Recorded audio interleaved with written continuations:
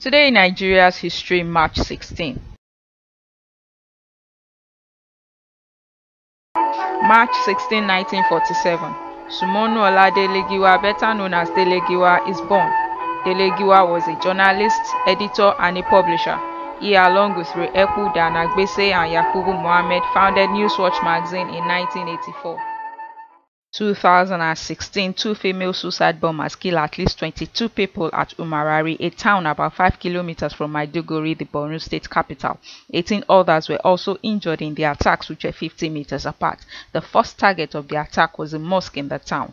2015, Willy Bazuaye, the Nigerian coach who led the under-17 team to win the World Cup in China in 1985, dies. He played for the Nigerian senior team, the Green Eagles, and was also an assistant coach when Nigeria won the Olympic gold medal in Atlanta 96. He was 79.